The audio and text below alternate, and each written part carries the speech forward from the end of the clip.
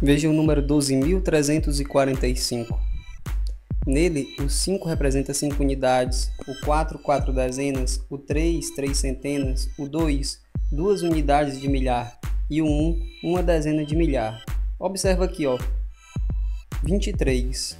Quando você observa esse 2 e esse 3, você pensa, aqui são duas unidades de milhar e aqui são 3 centenas. Se você observar esse 2 e esse 3 como um bloco só, como uma coisa só, você vai enxergar 23. 23 o que? 23 centenas, porque cada unidade de milhar são 10 centenas. Então você tem aqui 23 centenas. Da mesma forma, você pode olhar para esse 34 e entender como 34 dezenas. Da mesma forma, você pode olhar para esse 234 e entender como 234 dezenas também ou olhar para esse 345 e entender como 345 unidades. Sempre você pode separar um bloco e ler aquele número como sendo uma quantidade que indica o número de vezes que aparece a menor ordem. Por exemplo, 123 centenas. Você pode sempre separar assim: 234 dezenas. Tenha isso em mente. Vamos dividir 12.345 por 6. Vamos começar da esquerda para a direita. Esse 1 representa uma dezena de milhar.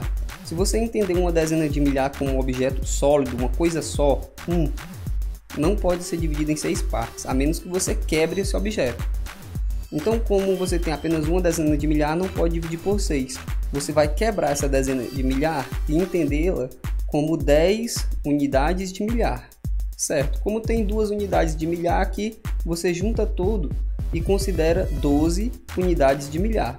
Como você sabe a tabuada do 6, você sabe que dá para formar seis grupos de duas unidades de milhar. Então, imagina assim, você tem 12 unidades de milhar e quer dividir para seis grupos em quantidades iguais. Cada grupo fica com duas unidades de milhar. É o que esse 2 representa. Depois de fazer essa distribuição, não sobra mais nenhuma unidade de milhar. Mas você ainda tem aqui três centenas, quatro dezenas e cinco unidades para dividir para seis grupos. Então vamos continuar a divisão.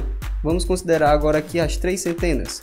Então você tem aqui ó, três centenas, certo? Mais uma vez, se você considerar três centenas como três objetos fixos que você não pode mexer são três coisas. Não dá para dividir para seis grupos. Então você vai ter que, antes de fazer a divisão, você vai ter que imaginar essas três centenas como sendo 30 dezenas, porque cada centena são 10 dezenas, certo? Se você passar a imaginar esse número como 30 dezenas, como tem quatro dezenas aqui, vamos juntar logo tudo, né? E vamos considerar as 34 dezenas.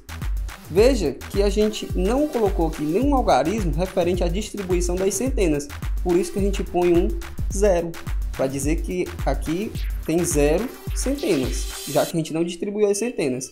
A gente vai distribuir o que? As 34 dezenas. Na tabuada do 6, você sabe que 6 vezes 5 é 30.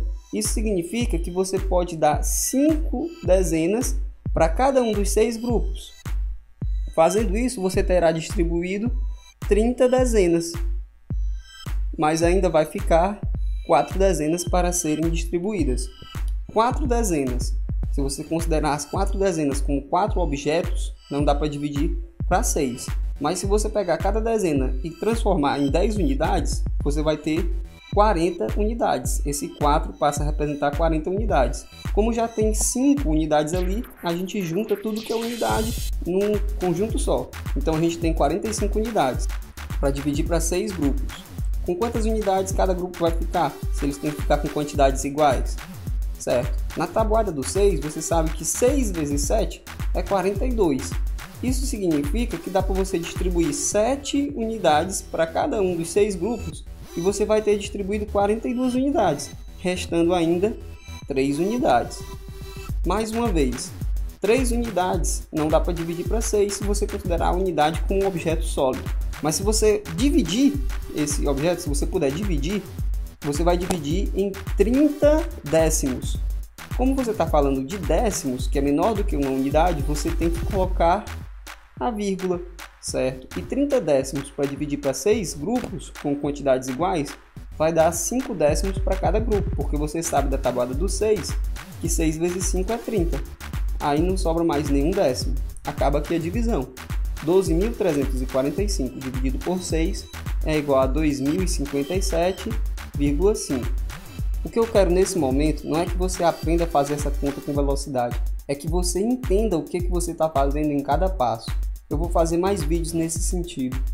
Qualquer dúvida, você pode utilizar os comentários. Obrigado pela atenção e até a próxima.